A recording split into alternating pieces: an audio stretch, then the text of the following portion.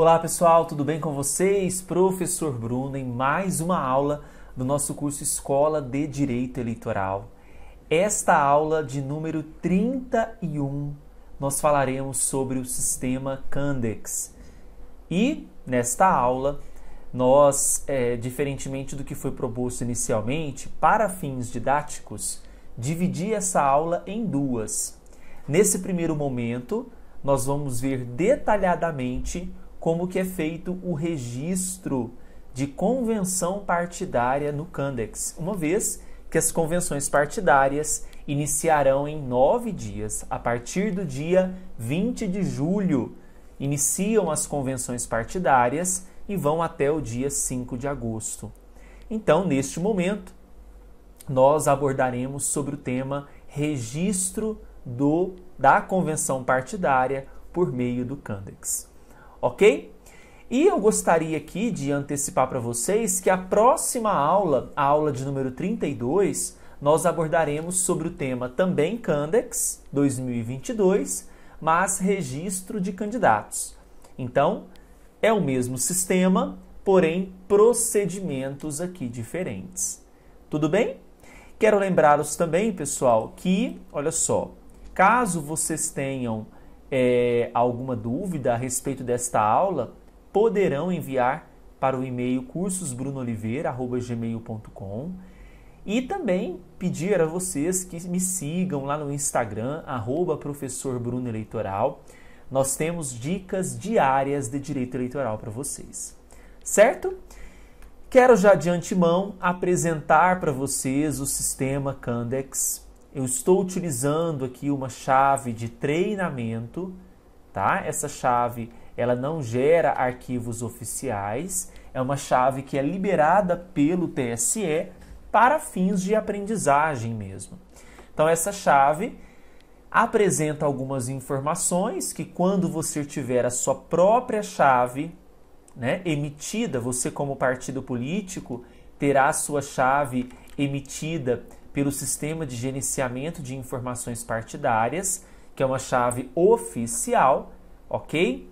Agora, para fins de treinamento, é importante que seja solicitado ao TSE a chave de treinamento, caso você queira treinar a sua equipe, né, treinar os seus membros aí da, da, da campanha que está próxima. Né? Nós já podemos dizer que estamos em campanha eleitoral? É claro que é, definitivamente, oficialmente ainda não, né?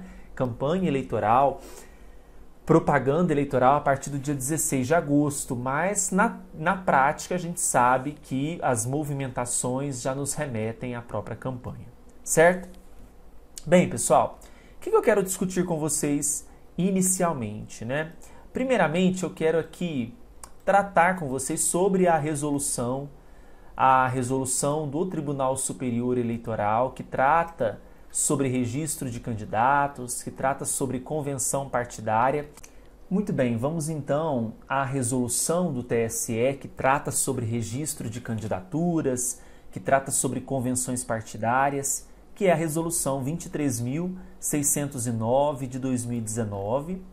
Então eu quero que vocês abram essa resolução e se dirijam ao artigo 6 e esse artigo 6 traz para nós um conceito de convenção partidária, o objetivo desta convenção, que é justamente a escolha de candidatas e também candidatos e deliberação sobre coligações. Lembrando que eu tenho formação de coligações apenas de forma majoritária para governador, para senador. Não tenho convenções partidárias para as eleições proporcionais. Né? Isso desde, desde 2017, na emenda constitucional 97, veda-se, portanto, as coligações para as eleições proporcionais, agora somente majoritárias. Ok?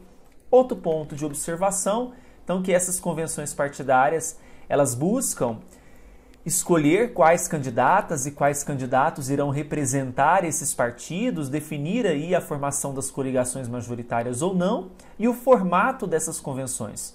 Presencial, que é um formato que é, era sempre utilizado, né?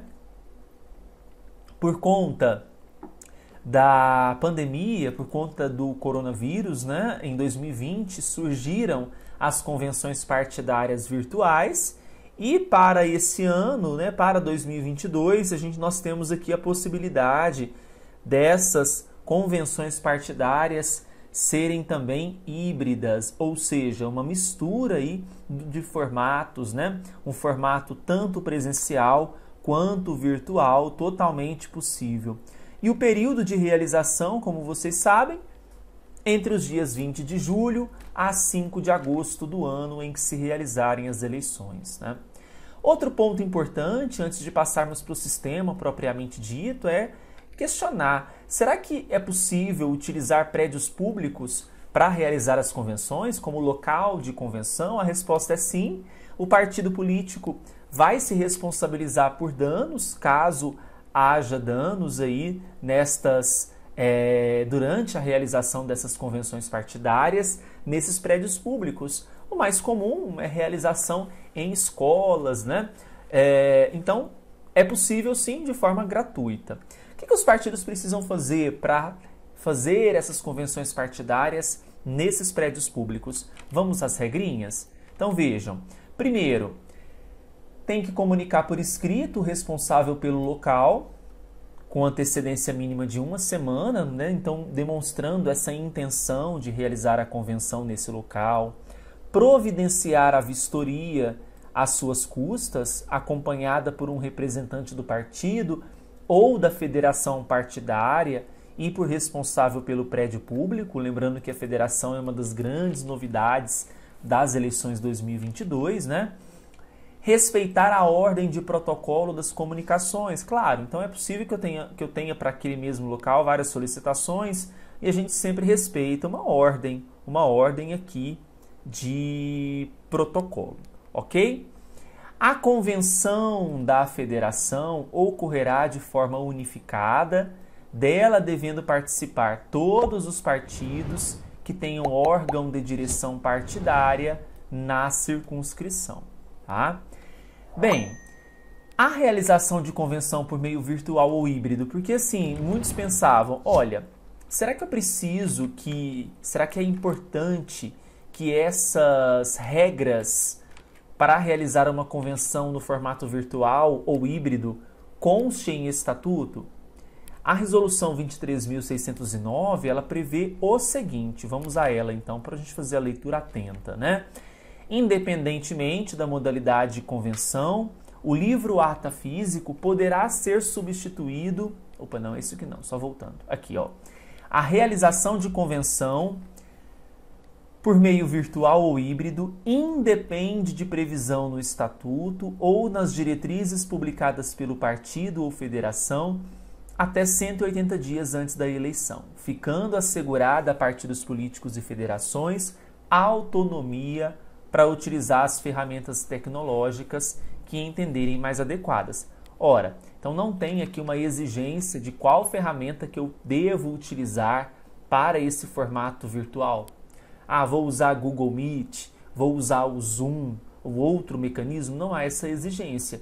Utilizará aquela que for mais conveniente, mais adequada. Então aqui nós temos uma certa discricionariedade para o partido político na hora de optar por qual ferramenta utilizar. Ok? Avançando aqui. Bom, na hipótese do parágrafo 3A, ou seja, utilizando aqui a, a modalidade virtual, né? Então, independentemente da modalidade de convenção, só voltando aqui no parágrafo 3 a ata e a respectiva lista de presença deverá ser lavrada em livro aberto, rubricado pela Justiça Eleitoral, que pode ser requerido para conferência de veracidade posteriormente, tá? Independentemente da modalidade da convenção, presencial, virtual, híbrida, o livro ata físico pode ser substituído pelo módulo externo do sistema de candidaturas Candex, é o que nós vamos fazer daqui a pouco, né? Registrando-se diretamente no sistema de informações relativas à ata e à lista das pessoas presentes.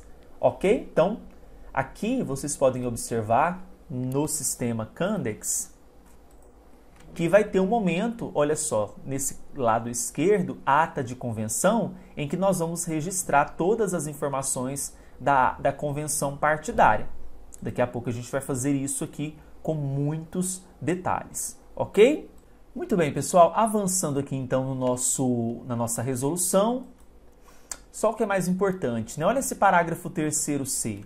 Na convenção realizada por meio virtual ou híbrida, provavelmente será a moda agora nesse essa nova modalidade de convenção, a presença de quem participa remotamente poderá ser registrada na lista respectiva das seguintes formas. Então, olha só.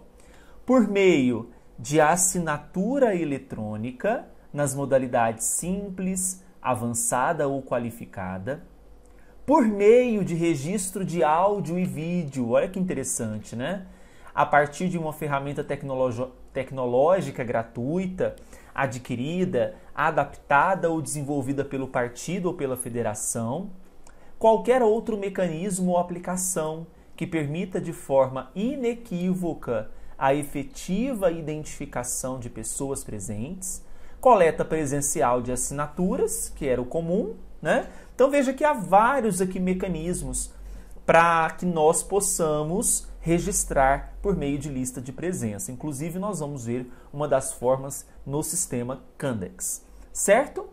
Bem, o registro de presença supre a assinatura em ata. A ata da convenção e a lista de pessoas presentes serão digitadas no Candex, nós vamos ver como faz isso para serem publicadas no site do TSE, página de divulgação de candidaturas. É importante que nós consigamos também verificar no próprio site do TSE essas convenções, essas atas de convenções. Vão integrar também os autos de registro de candidatura, ok? Até o dia, isso aqui é importante, porque muitos questionam assim, professor, mas existe um prazo para que eu faça a a transmissão, porque vocês vão perceber que no Candex, quando você digitar todos os, os campos né, do, da convenção partidária realizada, você pode salvar e transmitir ao TSE depois, mas existe um prazo para isso e a própria convenção partidária, a própria resolução sobre registro de candidatura nos tópicos de convenções traz esse prazo para nós de forma expressa.